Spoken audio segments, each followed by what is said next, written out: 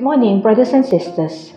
Our devotion today is taken from The Desire of Ages by Ellen G. White, chapter 15, page 149.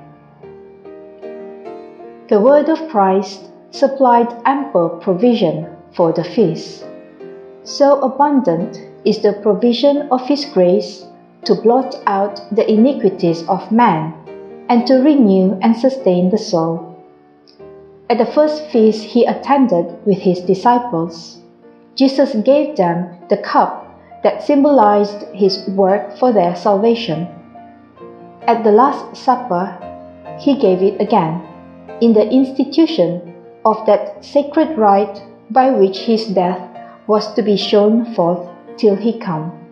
1 Corinthians chapter 11 verse 26.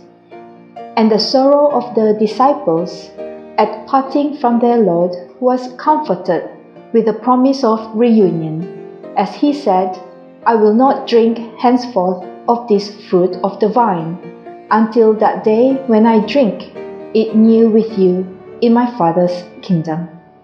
Matthew chapter 26, verse 29.